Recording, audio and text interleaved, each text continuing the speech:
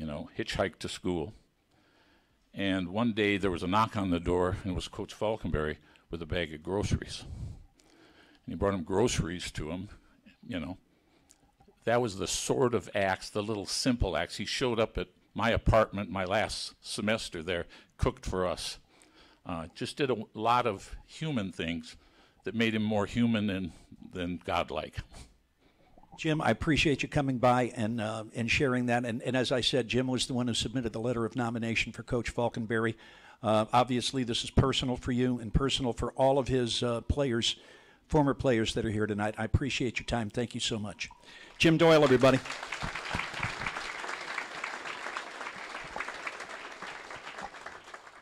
We've heard a little bit about Coach Faulkinberry, the coach. Now we're going to get a, a, little taste of Coach Faulkinberry, the man. Please welcome Coach's wife, Bonnie Faulkinberry.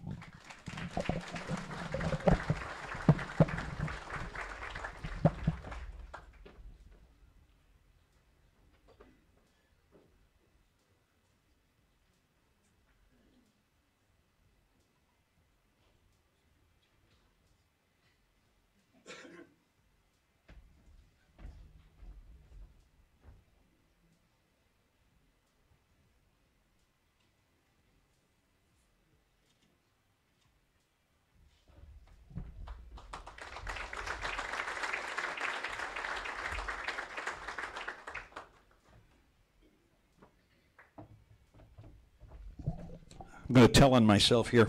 You know, or- originally, uh, Coach Russ's daughters were supposed to come in, but they live in Central Florida, and I don't know if you heard, but there was a little storm that came through there. So uh, they were unable to be here, and, and I knew that uh, that Bonnie was going to be here. And, and today we had a little luncheon over at um, um, Bon Temps, Bon Temps Grill. And I got there uh, after Bonnie had already arrived, and we shook hands, and she said, "It's good to see you again," but but the name never came up. And then I asked if she was one of Coach Faulkinberry's daughters. Um, um, all right, you heard you heard Jim talk uh, about about Coach, but he was a husband and a father, and my guess is he didn't go like beat everybody up. All right, so uh, tell me a little bit about what he was like at home. Oh, he was he was a, a strong disciplinarian. He was a, a big teddy bear most of the time. He was he was very soft-hearted, and always did a good job with the kids and his girls. He loved them most of all. He was a gourmet cook. Who was the better cook, him or you? He was definitely. What Jim and Charlotte, they all know. what um, what were some of his specialties in the kitchen?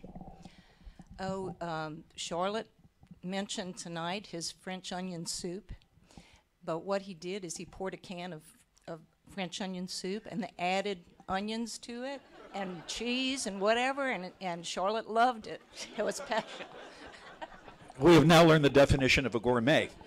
Uh, you know, after, but after his coaching career is over with, Coach probably made as big a contribution to society as maybe he did as a football coach. And a lot of people don't realize the people that he helped overcome alcohol and drug addiction. A lot of people don't even know that he did that. Tell us a little bit about that.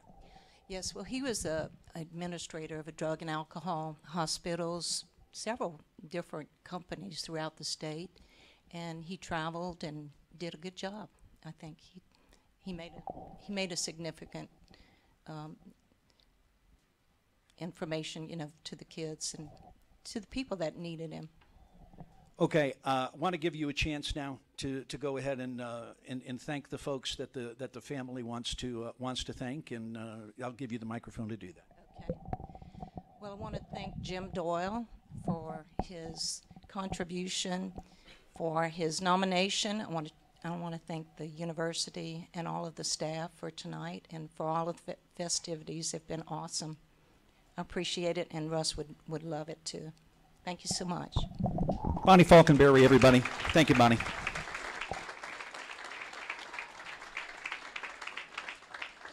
You might need to step. Oh, no, you got to step. Okay.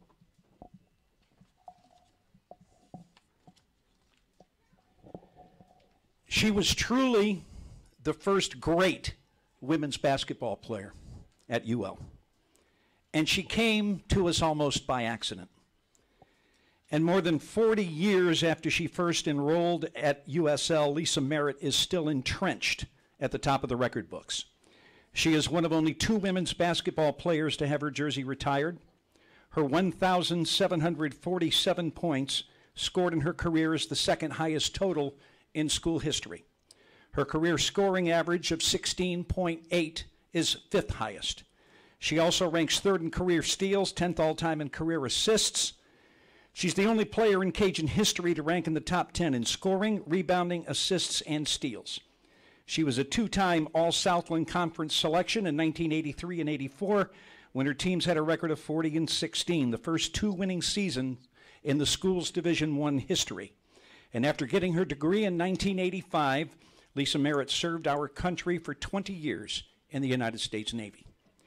But how did a young woman from Florida wind up at USL, a school with very few resources? Former coach Mary Jo Castell went to a camp in Florida at the request of the administration.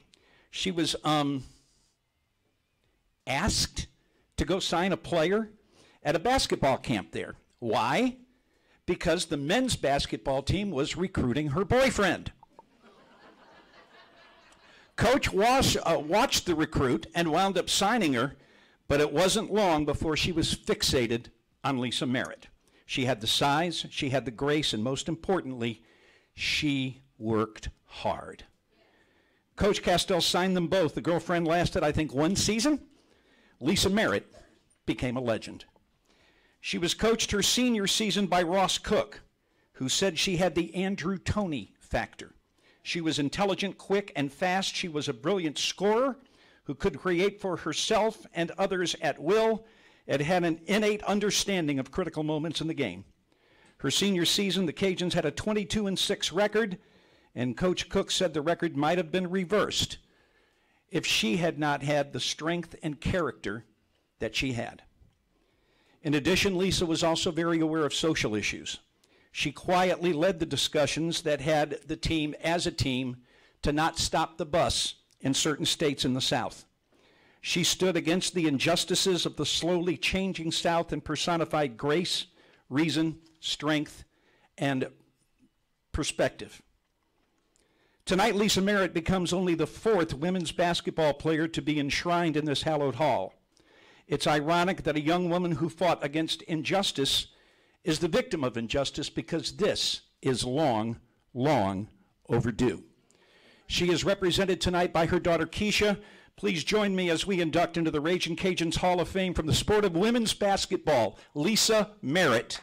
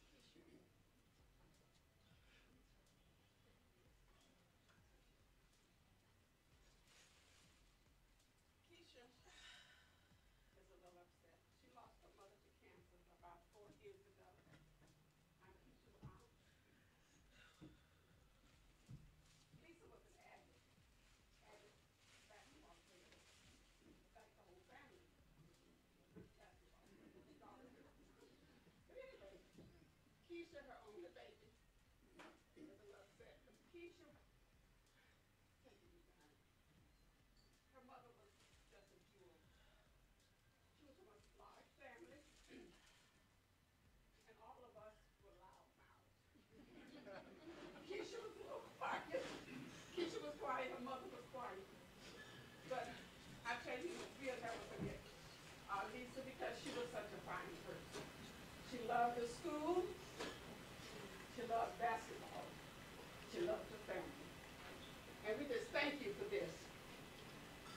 She passed away a few months, I mean, a few years ago. And her mother was not here to accept anything uh, about Lisa, but uh, let me just do it for the family.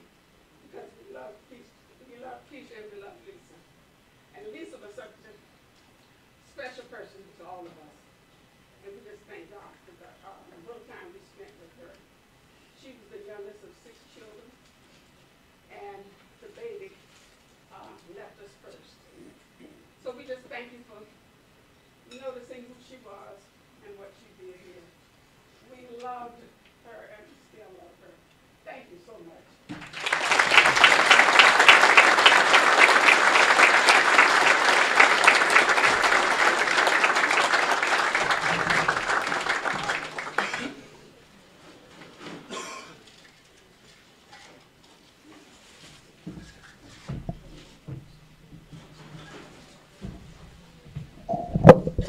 Lisa Merritt, everybody.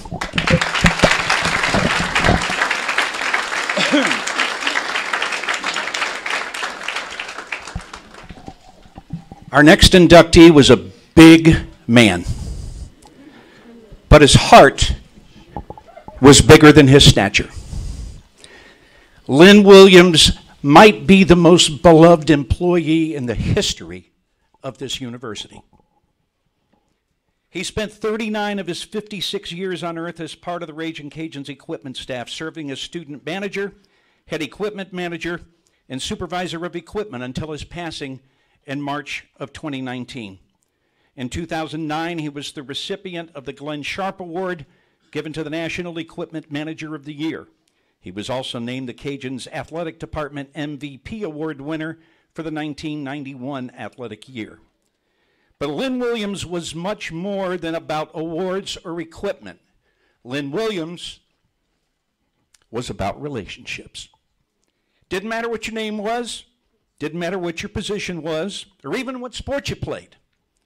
Lynn Williams cared about one thing, and that was making sure you as a student athlete were okay and that you had what you needed.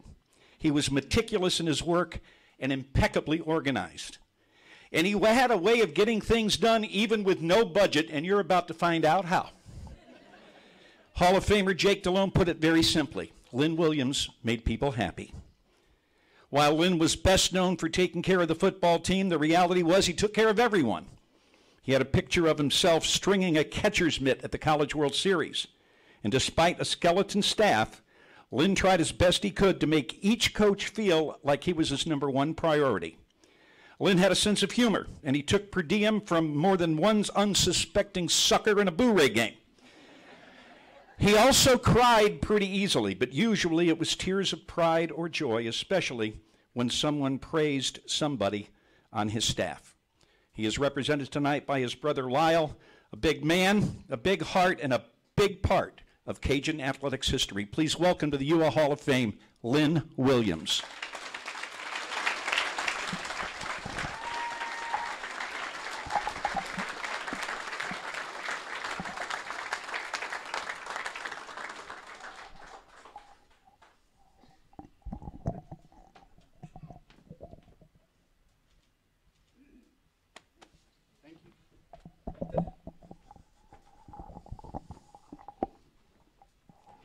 This is going to be fun.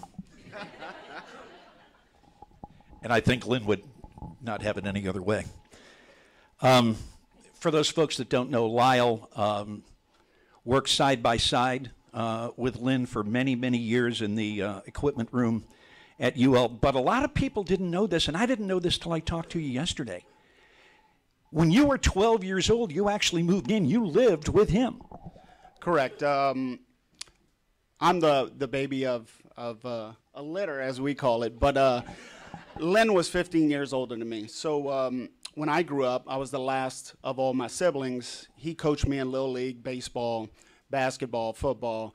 And so during summers, I would just stay with him throughout the whole summer. And eventually it became to him basically being, you know, my second dad. So uh, Lynn was Lynn was a father figure to me because my father was older and, and couldn't do the things that he did with my brothers when they were my age. So Lynn Lynn filled in that gap and, and did that for me. And he fired you. 39 years of Lynn being at UL, 34, 35 as a head equipment guy. He's only fired two people out of all the equipment managers that he's had, and he had an average between 25 and 40 equipment managers a year, and he's fired two. One was myself, and one was my nephew. You didn't stay fired long, though. No, I was I was lucky enough. Uh, a week later, um, his assistant at the time, Chuck Borg, uh, told Lynn that was that was crazy that he needed to bring me back. You, uh, you wound up at Northwestern State. Um, and after you, um, after you graduated, Lynn couldn't hire you full time because of state nepotism laws. But as we found out with um, women's basketball and softball some years later, having co department heads was okay. So you became the co supervisor of equipment. But there's something about that that nobody knows, and I want you to share it with us. Yeah, so uh, um, when Mr. Scheck called me and, and invited me back, um, it was a dream of mine. I was in the equipment room since I was seven years old, traveling with the equipment staff, me and Brandon Stokley. And um, I always wanted to work alongside my brother. That was, that was really the only reason I went to college, to get a degree to work in athletics. Um, but I couldn't have that opportunity because of nepotism. So I, I left, worked with the New Orleans Saints, worked with Northwestern State, and I got a call to be co-head co-head equipment manager with my brother. So I immediately accepted it, not knowing salary, not knowing anything. I knew I was coming home. Um, after three years, I realized that my brother did me a huge favor. He didn't go to bat for me to bring me in, even though we knew we wanted to work together, but after three years of me working there, I found out he gave up half um, a quarter of his salary to bring me in. So he took a huge pay cut when equipment was probably the lowest paid position in athletics. He took a bigger pay cut to bring me in and uh, to have me come there and work alongside of him. Yeah, it is. Now, those of you who have been here a while, you know, Dr. Maggard oversees a, a pretty decent sized athletic budget. It's not as big as we want it to be, but, you know, let's go back to the 80s, if you would. When, um, when there was no budget, there really was no budget. And uh, let's go back to, uh, to times when, um, you know, b- baseball coaches worked 90 hour weeks for $12,000 a year. Um, so if coaches didn't have budget, if teams didn't have budget, equipment sure as hell didn't have any budget. And yet, I have never heard a coach or student athlete say that they wanted for anything. No, never. Lynn, uh, Lynn was a very big man, wasn't very mobile, as most people know, but he was able to accomplish more with a, a cell phone or uh, back then a, a telephone than anybody else I've ever met in my life. Um, I've heard it several times that if uh, he was to have a run for mayor of Lafayette, he'd have won it and nobody would have known who he was because he just had connections through a, through a phone. He got more things done and more things donated to athletics than I think Dr. Savoie has. He also um, he also became quite beloved by other administrators, and of course, the first year that administrators were allowed to be named into the Hall of Fame, three administrators were, and that was uh, Danny Cottenham, Sherry LaBa, and John Porsche, who was a trainer for many, many years. And, and you told me a line that Porsche had that you got to share before we get to the thank yous. So uh, Travis will know this one. I think he's still here. But uh, Mr. Porsche always had a line for Lynn that uh, Lynn could get more done with a hat and a T-shirt than anybody else. And he said if if Lynn ever went before him and he showed up at the pearly gates and he was wearing a Ragin' Cajun hat, he knew Lynn made it because he could talk his way into that too. I don't think there's any question that he made it. I'm going to give you a chance now to give some thanks on behalf of the family. Yeah, our family is very honored. Um, UL has been our family. Um, Dr. Savoie, for what you did for our family, wel- welcome us all in in there. Dr. Maggard as well. All the athletes, but most importantly, the student managers that, that worked with Lynn for 35 years. Those, those guys and girls put in so much hard work for each and every sport, and all of them did it because they loved UL. Lyle, I appreciate the time and uh, congratulations to you and the entire family. Lyle Williams, everybody, on behalf of Lynn Williams.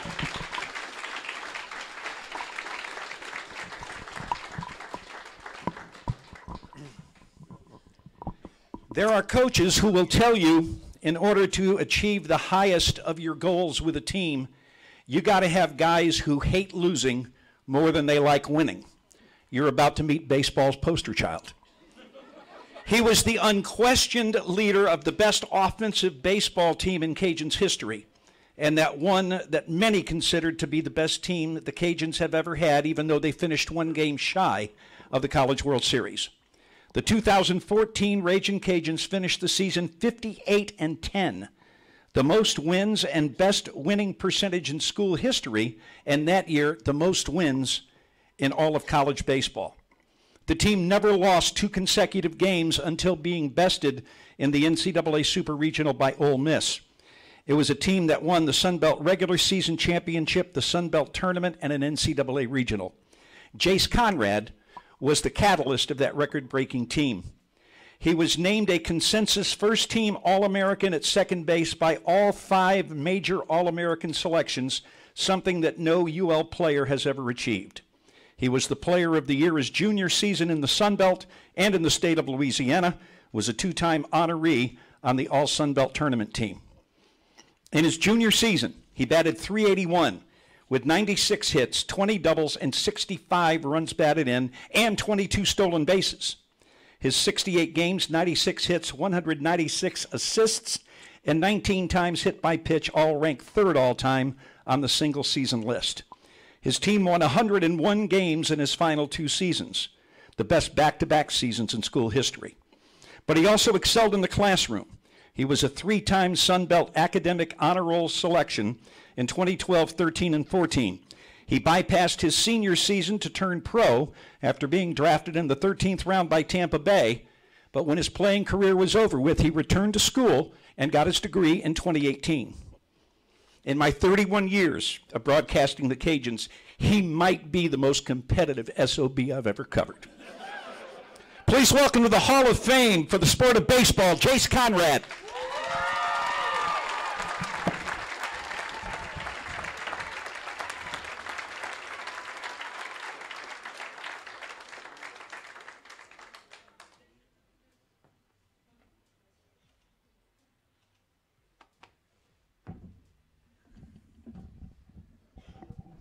Sit down, kid.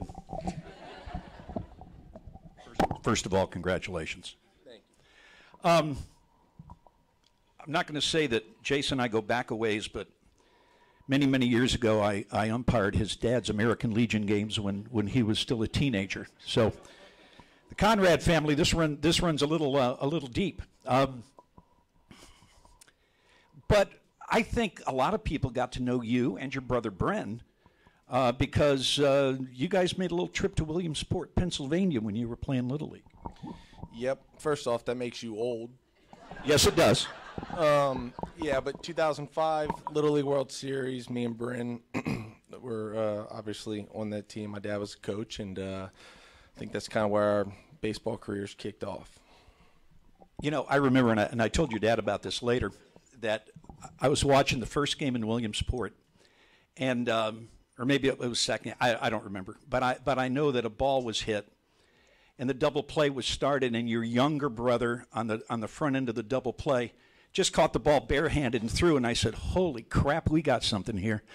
Um, it was a, it was it was a pleasure. Um, it was a pleasure then. But how did that prepare you for the rest of your career? Yeah, first off, he he practiced that way too much in practice. My dad would get mad, but it came came to playing the game, and that's why we do it. But uh, no, it it prepared me. I think mostly just playing in front of people at such a young age. You know, it's not easy, right? You get you know the nerves kick in and whatnot. But um, that experience so early in our lives, I think, prepared us for this college level where you get thousands and thousands of people in the stands, and um, you know, d- doesn't affect you at all. You know, we talked about Jace being competitor. Now, Jace not only hated the opposition, sometimes he hated his own teammates. Um, there, there's a story, okay? There's a story here. Now, it's normal when Coach Robichaux was with us that when he would go out to the mound, everybody in the infield would come in. But there was a time that you were not allowed to join the conversations at the pitcher's mound. Now, why was that? Yeah, that I'm not proud of that, but um, no, I can't remember who we were playing, but one of our pitchers was struggling at those strikes, and Coach Robe starts making his way out there, and uh, I got there about the same time he did, and I said, "You have one job, and that's, that's at those strikes. Give me the damn ball."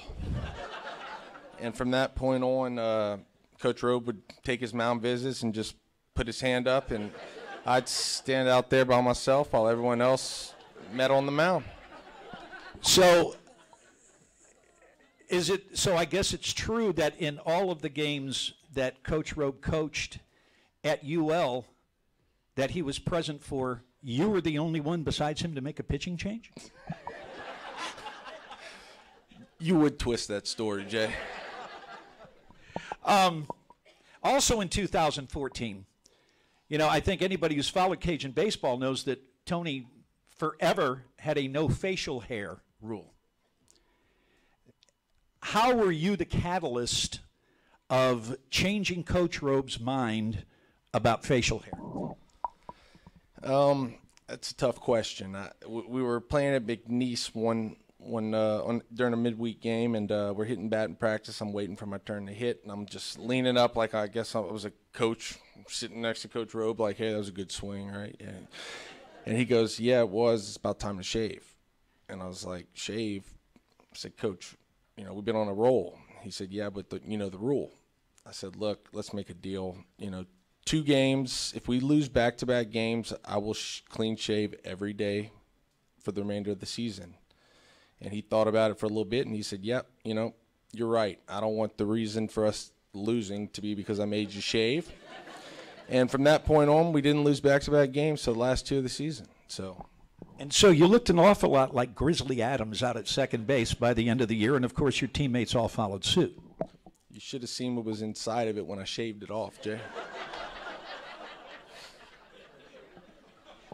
How long it did after the season was over with did it take you to shave that thing off? That night, whenever we lost to Ole Miss, I shaved it that night. And uh, what's the longest your facial hair has been since? Not much longer than this. You um, you played on the, on a Cajun team in, in 2012, which really was kind of the foundation for the 2014 team because there were there were a lot of guys on that team that were just freshmen. Uh, You and I'm just going to do off, off the top of my head. I think you and Ryan Leonards and uh, maybe Compton and Mike Strentz. Um, I know we're we're all very young then. And the following year, though, is when everything took off. And part of the reason that everything took off is you wound up with a hitting coach that had about the same attitude that you had uh, when it came to, to the um, to how do you how do you approach the game as a hitter. How much did that was Matt Deggs' arrival? How much did that mean for you and for the rest of that team? It's been a lot. In fact, you know, I told him this morning, take baseball out of it. He changed my life in general. Just coming in, the mentality that he brings every single day is um, it's game changing. And and and I think that was kind of you know he came in. We had a little bit different culture at the time. Um, he came in with high expectations. He set the bar high, and he lived up to everything that he said. And it was extremely large part of how we were able to turn that uh, season around. He also he also had a conversation with you personally. He did, he did. He uh, he basically looked me in the eye and said, "Hey, you want to hit 250 for the rest of your career?" And I said, "No." And from that point on, you know, we had a little talk. I won't, you know, tell you exactly what was said, but um, I texted him last, that, I think that night, maybe the next day, and said, "Coach, you know, I'm all in." So. Now, you found out about being named to the Hall of Fame at the same time that you were addressing the team. Ken Myers came in and um, and told you that uh, that you were going into the Hall of Fame. Now, that was much different than, than anybody else uh, and, and how they were notified. What did that mean for you? meant a lot. Um, I, I thought Coach Deggs might actually believe I was a good speaker, so he wanted to have me over talking to the team, and I'm taking it all serious. You know, I'm locked in, and here comes Dr. Maggard and Ken Myers walking in. I'm like, do they care that much about what I have to say? and sure enough, uh, that's what it was. So it means a lot. All right, let me give you a chance to thank some folks because I know I know you got a list. Yeah. So I think first off, I, I want to thank my parents. Um, sacrifices you guys made over the years to allow me to play the game at such a high level um, that doesn't go unnoticed. You guys took the brunt of a lot of my career. Everyone else got to enjoy the good things, and you got the phone calls when I was 0 for 30. So I love you guys, and I appreciate it. Um, to my brothers, my older brother couldn't be here. My little brother's here. Um, you know, my little brother in particular, playing with him for so many years, Bren, you were always pushing me from the bottom, and I wasn't letting you catch me. And I thank you for that. You helped me reach that level of uh, success in my career. Um, my friends, obviously, half of these people didn't have name tags when they walked in. So the girl that was at the front, I apologize. Thank you guys for all the support, and then of course my in my in-laws. They weren't around at the time, but they've had to live those stories many, many times over the years, and they were there for me, you know, throughout pro ball. So I appreciate y'all and all the support, and then my coaches.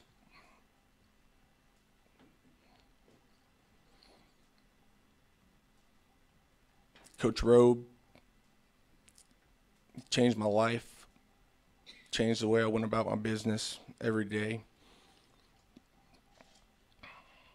And um, I'm going to stop right there so I don't start crying, but I'd do anything to shake his hand again, give him a hug, and, and tell him thank you for everything he's done for me.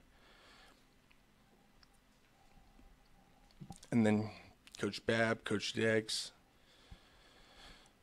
the mentality that you guys taught me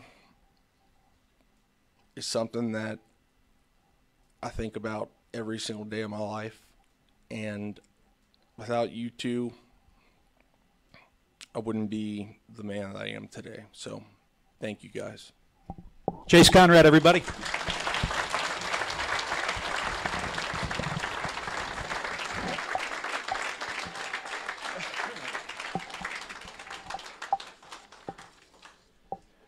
His nickname was Pee Wee, but there wasn't anything small about this guy. Ladarius Green became the most prolific tight end in Ragin' Cajuns history during a four year career from 2008 to 2011, and a part of the team that rebounded from a 3 and 9 record as a junior to 9 and 4 in a victory in the R&L Carriers New Orleans Bowl as a senior. He ranked sixth on UL's all time receiving list with 149 receptions, fifth all time in yards with 2,201, and only Brandon Stokley scored more receiving touchdowns in Ragin' Cajun history. Twice he was a top eight finalist for the John Mackey Award given to the nation's best tight end, two time All Sunbelt first team selection, and twice named All Louisiana. And he saved his best Cajun performance for his final game at Cajun Field when he caught 13 passes for 136 yards and a pair of touchdowns and recovered an onside kick late in the game as the Cajuns rallied from 11 points down in the final three minutes to beat ULM 36 to 35. He graduated from the university in three and a half years with a degree in finance. And then Ladarius Green was a fourth round draft pick by the San Diego Chargers. He played in 47 games for the Bolts with 26 starts played six games with two starts for the Pittsburgh Steelers in 2016 before suffering a career ending injury. A tight end who was known as a difference maker in both the passing game and the running game. He's honored for those efforts tonight. Please welcome to the Hall of Fame from the sport of football, Ladarius Green.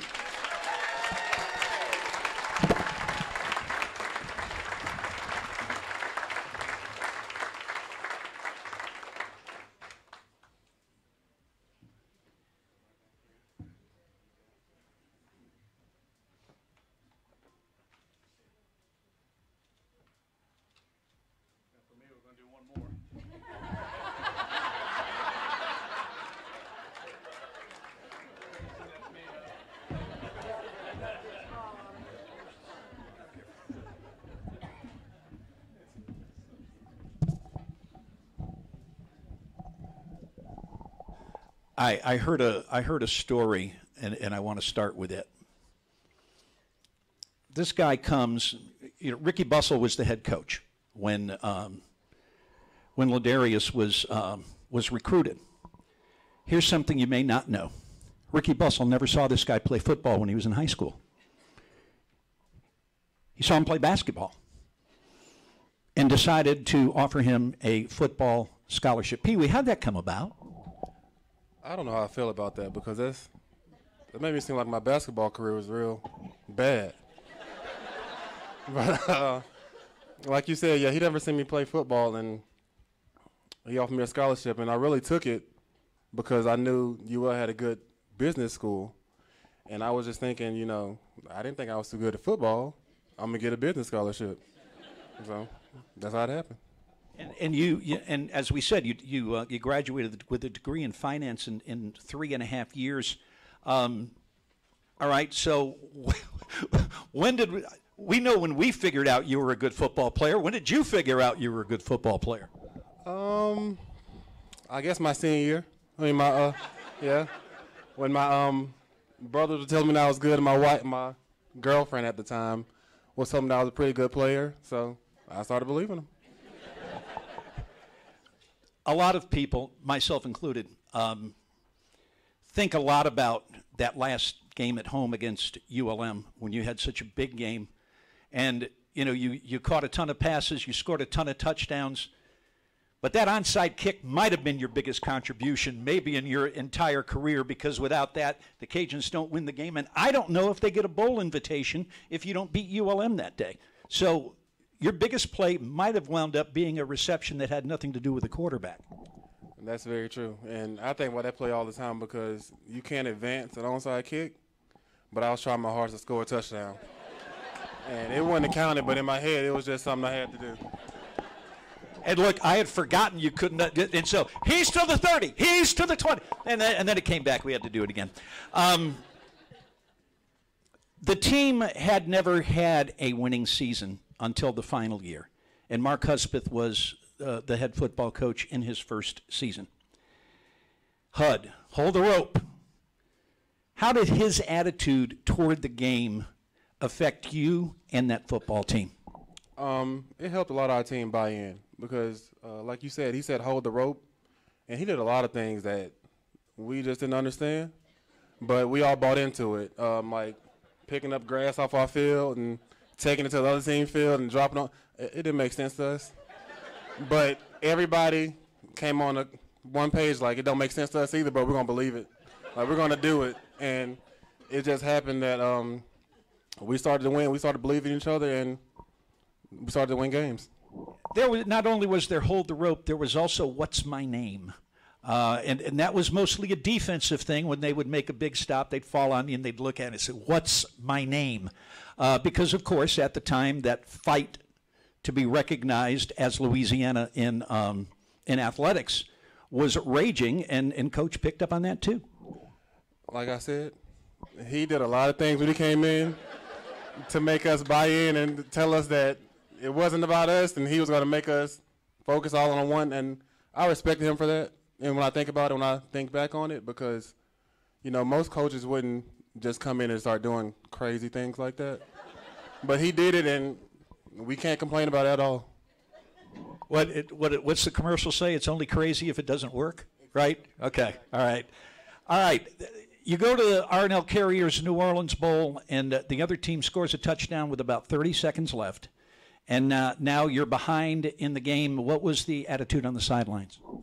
Um, that we were, it was our first time there, and we knew we were doing something that hadn't been done in a while, and we knew we had to pull it off. Especially it was a home game for us because it's right down the street, and um, all our fans showed up. It, you know, words can't really explain the, what was going on in that moment, and when we pulled it off, I just I couldn't believe it. Mainly because it's a guy over there I talk about later when I thank him, but we all bought in and we all believed. So it, it was just something special. Well, well, you know, I know what my reaction was when when the kick went through the uprights, and I saw, you know, Coach Hud on the sidelines. You personally, what was your reaction as well? I it's a blur. But somebody told me I said, "Where's my mom?" And I don't I don't know how I felt about that, you know. But somebody said that's the first thing I said. I was like, "Where my mom at?" And so I guess that was my first thought. You went to the National Football League and you played uh, alongside and, and, and well, behind at first and then ahead of a great NFL tight end in Antonio Gates. How did uh, your playing with him, your relationship with them, how did that make you a better football player? he humbled me because coming up through um, college, when people started telling me I was good, he reminded me like, "You're not better than me."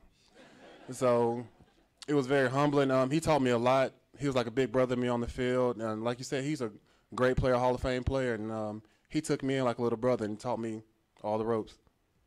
Okay, you said uh, something about you wanted to talk a little bit about a daycare center, and I want to give you an opportunity to do that. Uh, yeah, I work at my mom's daycare. I'm the uh, designated bus driver most days, and um, people uh ask me why I do it, but when you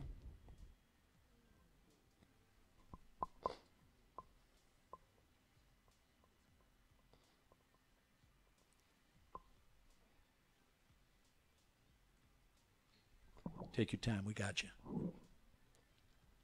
Hey, crying. when your parents sacrifice so much for you,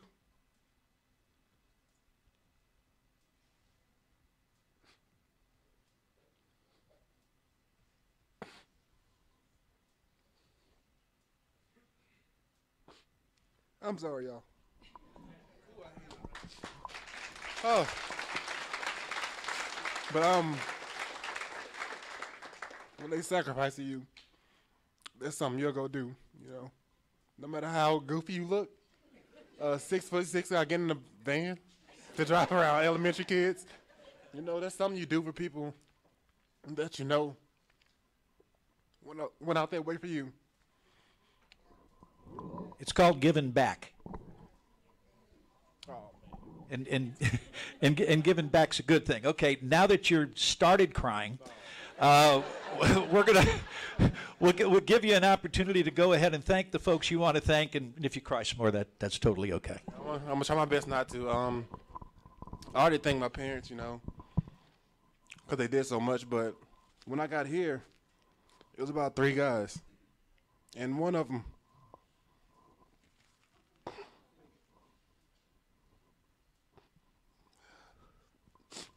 Man, I'm getting old. you know, this this age you start crying a lot when you get older. And I'm starting to see that. But uh, Coach Wingirter, he took me in like a son. You know, I still remember the first thing he said when I got here. You're not gonna play unless you block. And I thought he was crazy. I was like 200 pounds. But he told me, um, you're not gonna play unless you block, and he believed in me when I didn't believe in myself. Even when he didn't coach me anymore. Um, I had a different coach for like three years, but he was still right there. The crazy man on the sideline. You see somebody headbutting people bleeding. That was Coach Wingard. You know, um, and I can't thank him enough. And Coach Dez, my quarterback coach when I first got here, um, him and Matt, they took me in like I was a little brother. They fed me Thanksgiving. You know, boy from Florida, we, ain't going back home. They took me to their house, fed me, treated me like I was family. And um, I just had to thank those guys. And of course, can't forget my brothers. They believed in me. My little brother right there, the big one. He pushed me, called me sorry. So that made me a little bit better. And of course, my wife. Um, she was my girlfriend then. It takes a special woman to love a football player because we bang our heads all the time. We we can't think clearly, but um, you know, she was there. She believed them. She pushed me all the time. She told me I was good. Bad days, she told me I was gonna be better, and I can't thank her enough. And we can't thank you enough. Ladarius Green, everybody.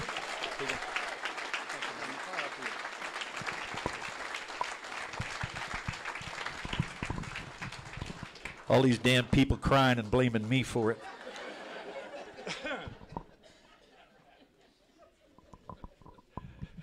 Our next inductee was a four-year letterman who led the Cajuns to their first ever NCAA Division I golf championships where they finished 15th.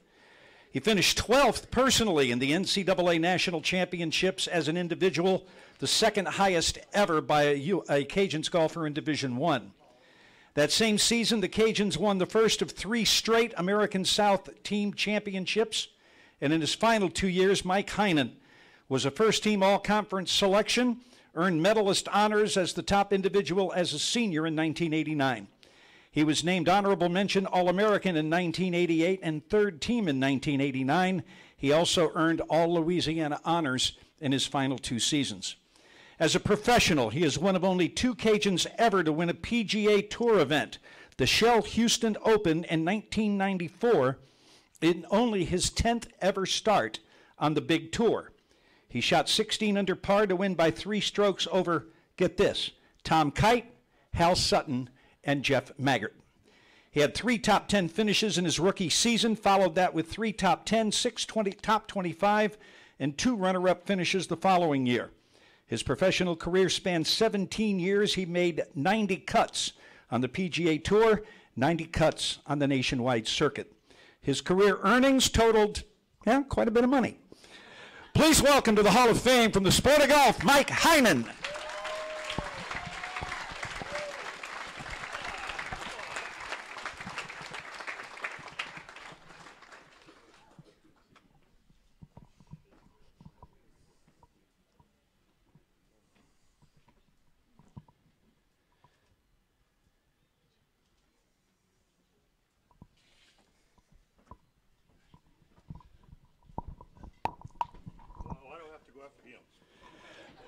Look, as long as you don't cry, you're going to be okay.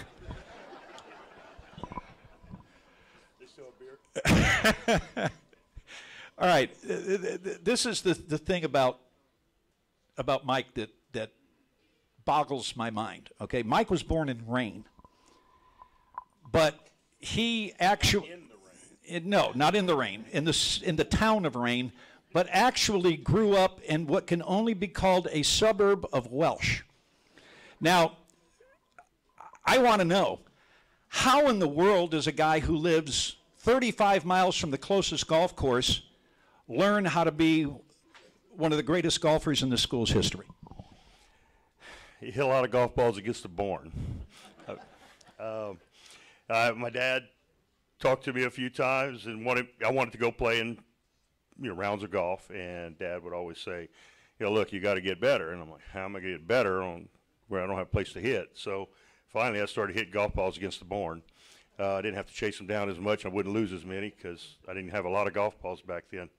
And uh, I would hit the golf balls against the barn. and most people don't know this, but when you hit one of the studs in the barn, the ball comes back at you. So I got pretty quick at that too. But um, it was uh, hitting golf balls against the barn, and uh, eventually got to where Dad started bringing me over to golf course more, and started uh, getting a little better at it. What made you want to want to want it to be golf to begin with? My my grandfather played, and my dad played, and uh, we'd go on a big family trip, and that's why I started practicing. I wanted to play on when we went on the family trip. Uh, they would play. We'd go to different places and we'd play golf. And my dad said I couldn't play with my uncles and my grandfather until I got better, but none of them could break a hundred. So it wasn't too long before I was playing. Didn't take long to be the guy uh, in the family. All right, first couple of years, um, you didn't have a conference to play in. You, you guys played as an independent. How much did the formation of the American South Conference and the opportunity to play in a conference and compete, how much did that help you down the road? It was good. I didn't really know much about it. Golf is, you know, I've always been an individual sport, and it's so neat in college because you have teammates, and you know, we're all playing. We're playing as individuals, but we're also playing as a team. Uh, so to play in conference tournaments where you're playing against, you know, other schools, and, and you, you know, really get to kind of compare yourself. It, it, it made it fun. It, you know, we really felt like we could compete uh, every time, and uh, that as we got pushed and started playing better in conference tournaments, it started. We started playing better on the bigger stages and NCAAs, and quali- back then they had regionals qualifying for NCAAs, and that was very tough to, to get in the field, and we were able to do that. How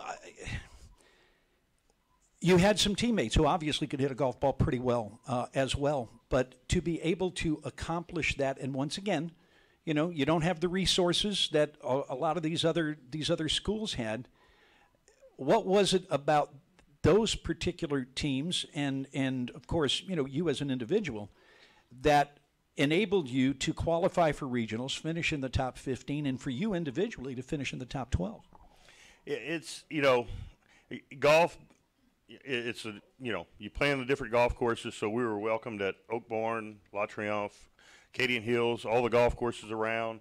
They let us hit balls on the ranges. We had a lot of players, a lot of ex-players. Uh, uh, everybody loves golf. We had a golf tournament today. Everybody loves golf. It's uh, so they they kind of took in the team and uh, and and welcomed us into their country clubs and and we were able to play and uh, it, it it really made it fun and and I go to see the facility today and Ladarius was talking about the lock we were looking at the locker room and I know he didn't have much of a locker room when he was here and at Oakbourne Country Club there's a beautiful clubhouse with a for the players a locker room and a hitting area we didn't have that either. So it was uh, but it, it was neat to be kind of part of that to grow it up.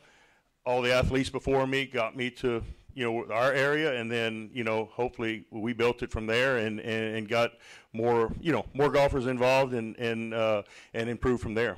All right, so you go on the PGA Tour, and it did not take long before you were a champion on the professional tour. Did you ever say, shoot, this is going to be easy? uh, it, you it's kind of a thing where you know, everybody say, "Well, how did you do it? How did you do it?" And you know, I, I remember having Steve Stricker. I was sitting down with him in Atlanta the week after I won, and we were good friends. Played the Canadian Tour and the and the smaller tours together, and we were both on the PGA Tour. And and he just goes, he goes, "I can't believe you did it." And I'm like, "Gee, thanks." And he goes, "Well, I didn't mean it that way. He's such a nice guy, but he, uh, uh, he he he. Uh, but you know, it, it was kind of. I said, "Look," I said, "It's." you know, it, you kind of, he said, how did you get to that point? And I said, well, I was right around the lead after the first round, and I was right around the lead after the second round, and then I was leading going to the third round. Hey, I might as well finish this thing off. And, uh, you know, just didn't know, didn't know much. Um, didn't, didn't, didn't know it wasn't possible.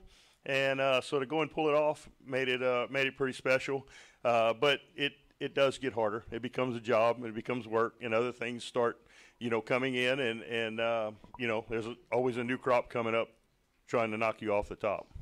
You played on the nationwide tour as well, and of course, a nationwide stop is right here uh, with the Louisiana Open uh, out at La Triomphe. And I heard this, and I want you to correct me if I'm wrong. You had a round there on the nationwide tour where you shot a 61, and that was like your lowest score as a professional. Is that right?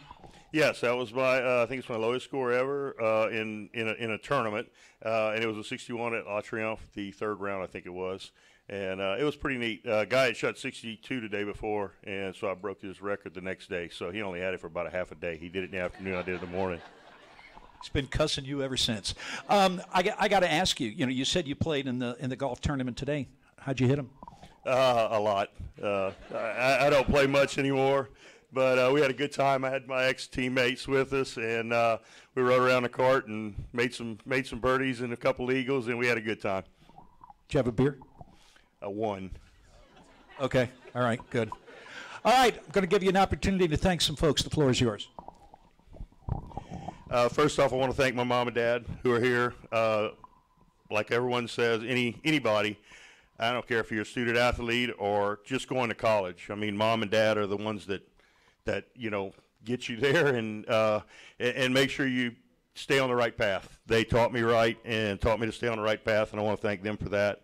And uh, I got my wife who was my girlfriend in high school and went through college and got married and she traveled with me played on the canadian tour nationwide tour tc jordan tour every tour there is before we got on the pga tour and she caddied for me and uh, drove the van and got me from tournament to tournament and uh, so it, it was uh, she sacrificed a lot to do that and uh, I, I I thank her because you know she's done so much for me. I have my son William here, who uh, my my daughter and my youngest son uh, are at home, but uh, William's here, and I always tease William because he was a swimmer, and I'd have to get up at four o'clock in the morning and bring him to the pool. And I said, why don't you just play golf? We'll go play nine holes, eat a cheeseburger, and go play the back nine. But he wants to go swim seven miles every morning. So, but uh, so it was great. Got a good friend of mine from uh, from Welsh, uh, Laurie Ordway, who's a friend of mine. He's been a coach in the area here for a long time, and uh, he he was probably one of my biggest fans. He would come caddy for me at tournaments, and I've got Jeff Calloway, David Church, and Mike Genovese, who are teammates of mine. I have them here tonight, and all my other teammates, my coaches. Uh, it, it's just it's just a, you know it was a pleasure playing here. Such an honor to be um, you know in the Hall of Fame. Uh, I can't believe I'm saying I'm in the Hall of Fame, but I'm in in the Hall of Fame. I guess now is it official now? So and uh, so I'm, uh, I'm I'm pretty excited about it, and uh, I just had a great day today. I'm looking forward to tomorrow. Mike Heinen, everybody. Thanks, Mike. Appreciate you, man.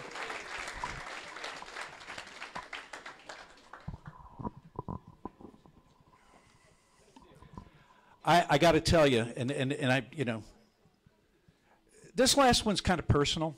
Um, I've watched Ragin' Cajun softball for a long time. And there have been a, a, a few student athletes that I've really, really admired.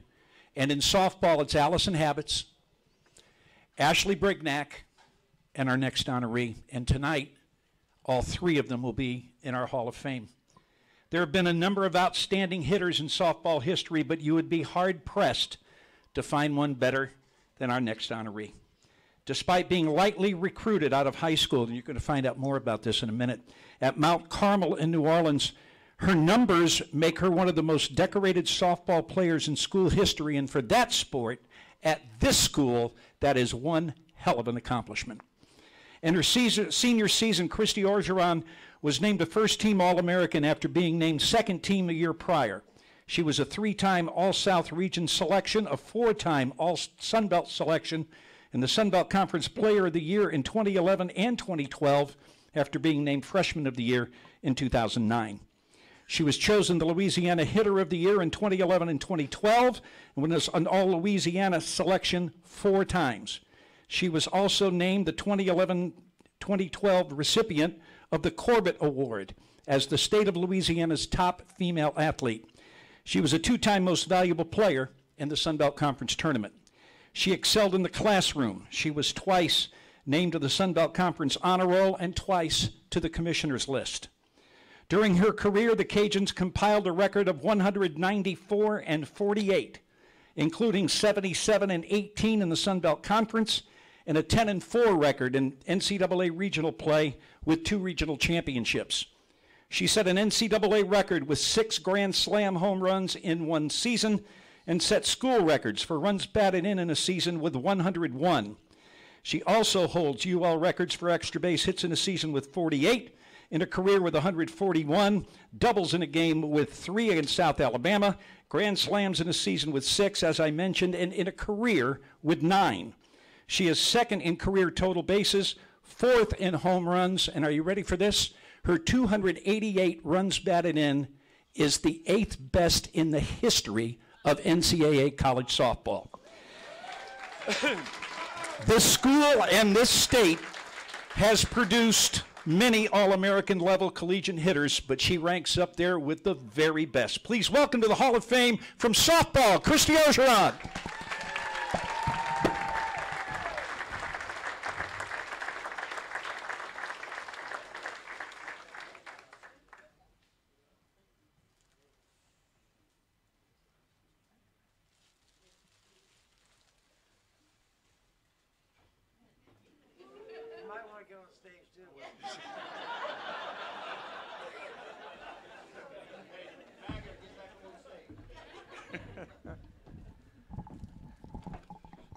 Oh, my girl. All right, first, congratulations. And, and it's just a joy to have you sitting up here with me tonight. Thank you so much. I'm so fired up after this, hearing everyone talk. I'm like, Jerry, can you get me a COVID year to come play another, play another round? You know, a lot, of, a lot of people don't know this, but when Christi was in high school, she played for a she played on a state championship team in soccer. You were also a swimmer. Yes, um, I uh, I never actually swam until high school, and I didn't have anything to do until soccer season started. So, uh, five foot eight freshman apparently was welcome on the swim team.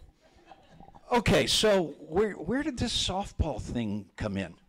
Um, growing up, my brother and I were super competitive. We were 18 months apart, and um, you couldn't tell me that boys were better than girls. And so we competed at everything. And we were a baseball, soccer family, and um, uh, they wouldn't let me play with boys, so I ended up playing softball and kind of ended up, uh, ironically, getting recruited unintentionally. um, I thought I was going to go play college soccer, and um, nobody really recruited me for anything. So when Coach uh, it's actually Lacey Prejean that showed up at a game uh, in Indiana, out of all places, and uh, Coach Mike kind of started following me and uh, found something that he liked and took a chance on a kid that didn't play travel ball till she was 17.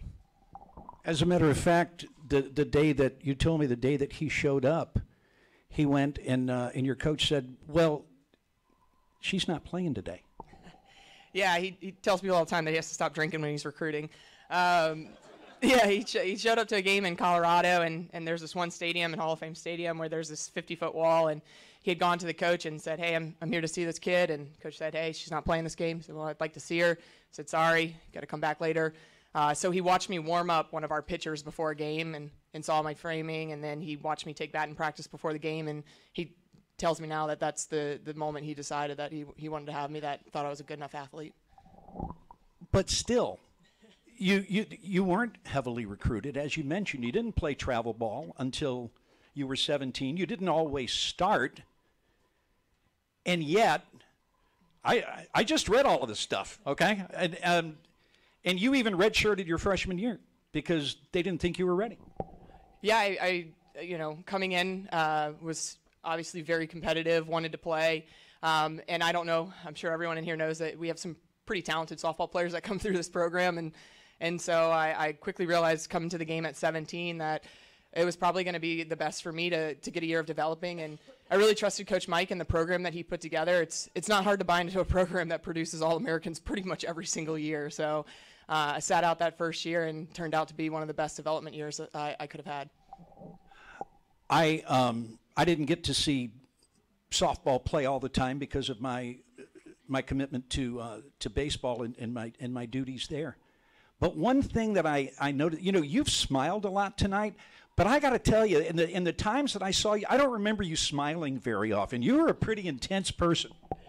Yeah, I mean, it's great to, to kind of see like Jason, Ladarius, and all. We we were. I saw Austin. I saw you know Justin was here as well. We were all here around the same time, and and it was right when when Dr. Savoie came in, and you know really softball and baseball kind of had really good reputations that we we put out pretty good teams, but he came in and he really invested heavily into the the athletic programs and and that was the turning point here and it really just became fun to be a student athlete you really got to rally behind everyone else and it was really easy to kind of be great because you were always pressing the other teams trying to be better than them and trying to get the attention and um, and so we really pulled greatness out of each other which was really fun Talk to me a little bit. I, you know, you had the competition, and, and you know, you of course dominated the Sun Belt Conference, but you played tough schedules. You were in regionals every year. You won regional championships. You complete competed in super regionals. So you had the competitive spirit against other. But what about within the team itself? Yeah, every day is a battle. I mean, you're talking about a team where at any point anyone could probably be a starter on almost any other team in this country. And um, it's funny, you know, like Darius was talking about when HUD came in and, and doing all these crazy things. Like, you don't talk about crazy things. You talk about Coach Mike with his split grip, and you got people on national television being like, I don't understand how this works. And then it's like, well, there goes my home run. You can go get it and let me know how that worked out. When, all right, when you. when you were um, okay, you're in, and, and you know, okay, we're going to get to this goofy split grip thing. How did you buy into it? Um, yeah, again, like uh, everyone's kind of, you know, Mike Mike said it really well um, about golf and how what what he did. He hoped it, it built another, you know, foundation for the next group of people that came in, and and I was lucky. I, I wasn't the first person he came to and was like, hey, I'm I'm gonna try this. Let's just see how this goes. You know, there was a legacy of athletes and student athletes and women that came before me that originally bought into it and they built the program and the success was already there. So you'd be crazy kind of not to. And, you know, going all the way back to even like Yvette Girouard, who started this team in a cow pasture. Um, I mean, like, can you imagine being on that team and it's like, we're to go to the World Series? And you're like, okay. yeah, they started. They started with uniforms that Mama Rosemary made by by hand. Yeah, And it, it started like that, and it's uh, and it's kept going strong and strong and strong, and it's strong again. And uh, for those of you that follow softball, Jerry hasn't released the schedule yet, but wait until you see it. Woo! Jerry, Jerry told me they got uh, Jerry told me they just got AC in the indoor hitting facility. I said, "Wow, it must be nice to have an indoor for hitting facility." All right, so you got Pee Wee with the Student Athlete Performance Center, and Heinen over with his clubhouse, and, and now you with the with the indoor hitting facility. Yeah, yeah. We built that, Jerry.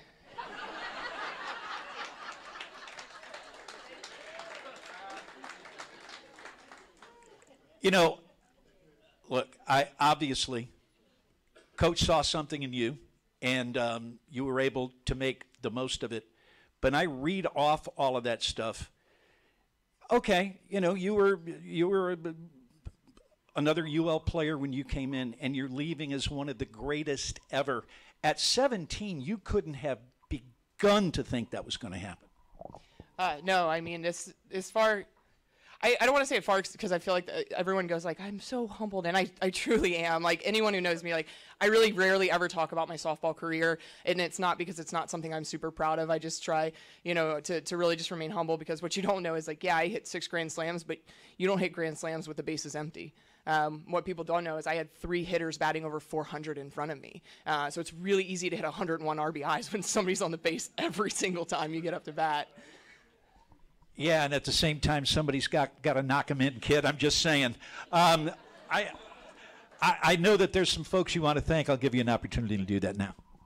Yeah, thanks so much. Um, you know, it's funny. I've, I've won a, a lot of awards. Fortunately, I, I put in a lot of hard work. I'm super proud of that. And and I always said that if I ever got to speak, the first person I would ever thank would be God. And and what's funny, is this is the first time I've ever actually like spoken at an awards thing. So. Um, this is a full circle moment for me. Like I really came to my faith at the school, and so this place is so important to me. And and I've got some people that kind of helped walk me along that journey. And everyone's thanked their parents so far. And um, you know, my mom didn't miss a single game my senior year. Um, she would drive up here, drive two hours back the same night. Uh, my dad used to hang out into camp. He was the proud sponsor of the camp out in the outfield. Um, and what most people know is my parents were actually my harshest critics. Um, you know, my dad would sit there and be like, "Why'd you strike out?" Right behind me in right field, by the way. And then I'd finish the game. My mom would be on the car, be like, "You went 0 for 2." I'm like, "Thanks, mom. Appreciate that." Um, but I, you know, they, they modeled excellence for me. They they chased excellence in everything that they do, and it's really laid a foundation for, for my brother and I to, to really build a successful career. So, you know, so so thankful for that. Um, I've got some other family members. Uh, you know, my stepdad, my stepmom got toted around to so many different games, and so just appreciative of their support. Uh, my aunt uh, was fortunate enough to be here. I had so many family members. So. Um, I'm gonna try to like not roll this on because I feel like you could thank people for forever. Um, I'm so thankful to, to Coach Mike and stuff for for taking a chance on a no-name kid and developing me and pouring into me and allowing me to to be my best self. Um, to all the administrators here who invest in our program, um, and and most importantly to to my teammates. Um, like I said, softball's a team sport, and I can name off like this 10 other girls that I played with who could easily be in this seat tonight. Um, and so just you know, I, I'm, again, my, my college roommate's here. She was uh, an athlete as well. Um, I'm fortunate enough my, my girlfriend was able to make it in for this. And so the, the amount of support you get in this community as a Ragin' Cajun, as a member of the Ragin' Cajun family is unreal. Um, this has been such a surreal night for me, getting to to meet up with some of my my fellow athletes and, and be a part of this together. It feels like all that blood, sweat, and tears that you guys were talking about really came kind of to fruition. And and so this is this has been an absolute magical night. So thank you so much. Christi Orgeron, everybody. Try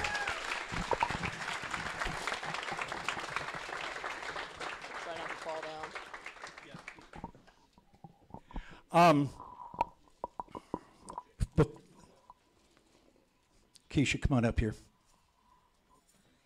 And look, we're not going to sit down. We're just going to stand up, you and me. Come over here. Keisha Merritt, everybody. Um, you know, your mom's a, a very interesting story because not only did um, she have a wonderful career here, but then after she served this university, she served the United States of America for 20 years uh, as a part of the U.S. Navy. So, so you grew up as the daughter of a military mom. What was that like? First of all, I grew up with the daughter of Lisa Merritt, and if you know, you know.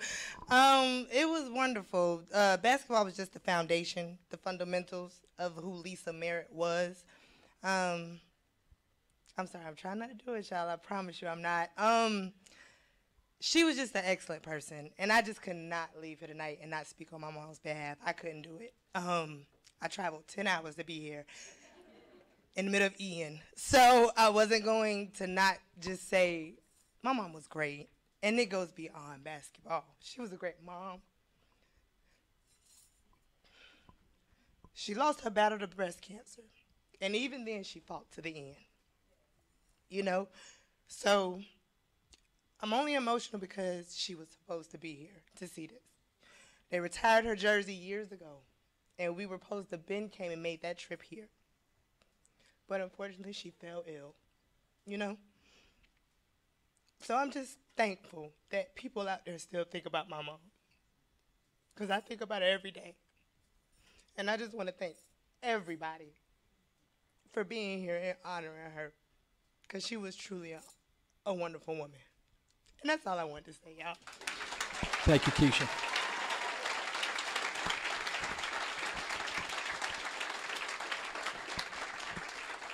Couple, a couple more things before we wrap this up tonight. Uh, first of all, I see my good friend Gerald Abert standing over here.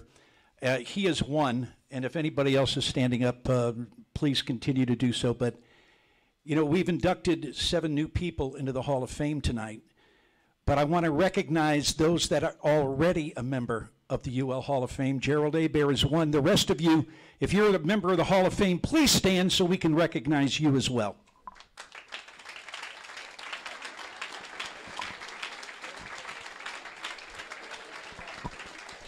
Thanks so very much. Um, you know, it's, um, you know, sometimes irony is what irony is. Um, because I had planned to close by saying something, and then, you know, Keisha was supposed to be the second person that we talked to, and as it turned out, she becomes the last one. And what I was going to say was tomorrow's October 1st, and that's Breast Cancer Awareness Month. And I hope that uh, all of you will think about that during the month of October and donate to the charity of your choice. Um, breast cancer took her mom, breast cancer took my mom uh, when she was only 52. But there, but breast cancer now uh, can be cured. There's a lady right here that's a walking example of that, and uh, so I, I just want to take a moment just to remind all of you of that. That wraps things up tonight. I got nothing cute to say. Want to say thanks to Aaron Robichaux one more time.